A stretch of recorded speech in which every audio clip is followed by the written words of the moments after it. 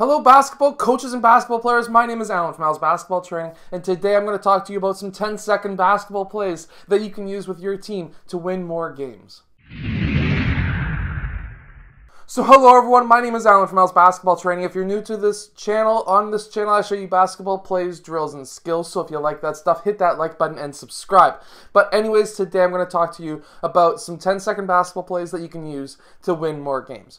Basically, uh, in a 10 second basketball play, you're basically running the play. It's going to be very quick, but also it's going to allow you to get just over half court. So let's say you've got 20 seconds left in the game.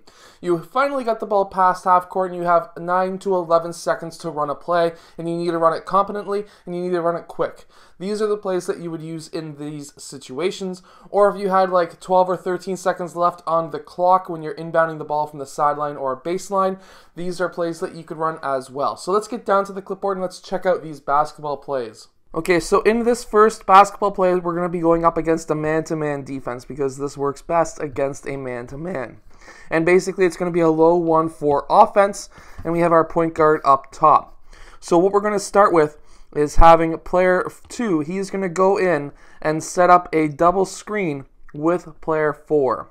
This is going to be a big wall. They're going to be pretty well shoulder to shoulder. At this time, player 5 is going to set a screen for player 3, and player 3 is going to either cut baseline or he's going to cut over top. It's up to him, depending on how this player is screening player 3. If he goes over top, he's still going to be using 2 or 4 as a uh, as an option for screening. If he goes underneath, same idea along the baseline, but he's going to pop up a bit higher. And player 1 is going to pass player 3 the ball. If player 3 is going over top, the player 1 might want to dribble a bit to this side because player 3 will be getting down a little bit deeper for the three point shot from that corner. Of course, this is a play where you're going to need a, uh, a good three point shooter, but so that just in case player 2 doesn't pop off and play help defense, once this screen has gone through, and if player 2 did pop off to help player 3, player 2 is 2 blue is going to pop up to the the mid range, and player one is going to pass him the ball, turn around quickly for that shot from that spot. Now, in the second play, it's going to be a Horns offense against a 2 3 zone defense that we have set up right there. And what we are going to start with is having player four setting a screen for player one and we're going to have player one use that screen. Now, player three or player one could take that shot right there, but that would only be taking up two or three seconds of that shot clock or of the game clock. And we, if we if we want to burn a full 10 seconds, what we need to do is go and have player four either roll towards the basket, which is an option. If that happens, player one will pass to player four. Player five is then going to go and cover Player 5 is then going to be cutting towards the rim, and if player 4 doesn't have an open lane to the basket, he can pass the player 5 for the layup as well. Now, this is going to take up maybe 7 to 9 seconds of the clock, so if you're okay with something like that, definitely this play is going to work really well for you. Now, here's another play against the 2 3 zone defense.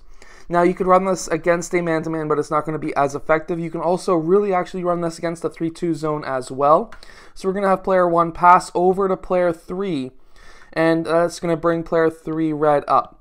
Player 4 is going to set a screen on player 1 here, and player 1 blue is going to go and cut towards the rim.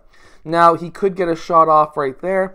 This is going to be uh, probably maybe 5 seconds at most. So, if you don't want to have that happen just right then, you could burn another second, half player one blue pop out to that low wing, and he could take his three point shot from there. Or what could happen that might bring player five over, in which case we could then have player five blue sitting right on this side of the key, or maybe even right in the middle, where player one would drive and pass to player five for that layup. Now, he needs to player five needs to keep player four red right behind him. That way he will have that open pass lane right here when player one drives. So now I'm going to show you a play against a 3-2 zone defense. Player 4 is in that high post, so player 3 red is going to be guarding both of these players so that the pass doesn't doesn't have a chance to get to either one of them. However, what I want to see is player 4 go to the high post or the middle of the key where player one can then pass player four the ball. Now he could take that shot. This part of the play will only take two seconds. So if you only have five seconds, of course, this is a great play for you. However, if you want to burn the whole 10 seconds or 12 seconds that's on the clock, what you want to have done is have player 5 set a back screen on player 2 and of course player 4 and player 5 are probably playing up on player 4 at this point. We're going to have player 2 cut back door and well not necessarily backdoor, but there's a screen here. Player 2 will should be able to get the ball right there and that should be an easy layup for player 2.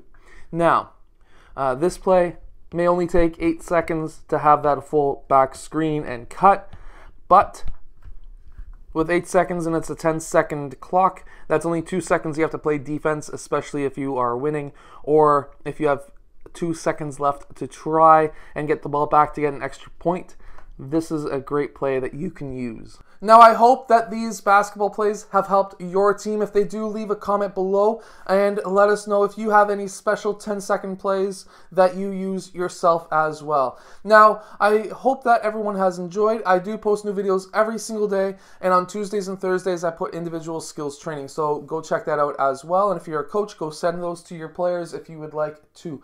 Anyways, I'll see you guys again tomorrow for another daily basketball video.